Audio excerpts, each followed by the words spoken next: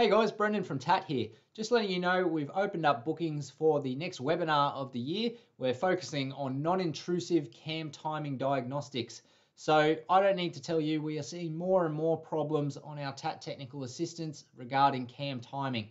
Now, whether that be mechanical timing, manufacturers just don't seem to be able to master a chain anymore. Uh, they've gone away from using dowels, or if they do, they're tiny little things that want to shift and snap off. We've got cam lobes moving on, on cams.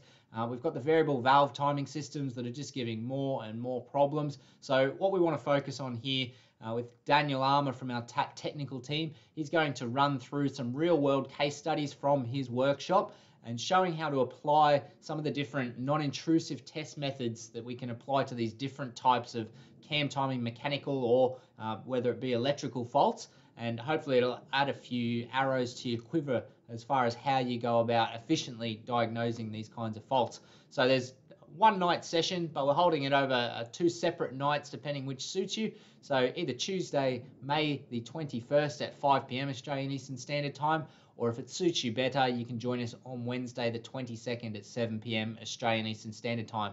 Uh, like always, if you can't attend, there will be a recording that goes out to everyone whether you attend or not. So uh, go ahead, check out the link below, uh, sign up. We'd love to see you there, and I'm sure that everyone will pick up something that they can apply to the next uh, cam timing problem that they have come into the workshop.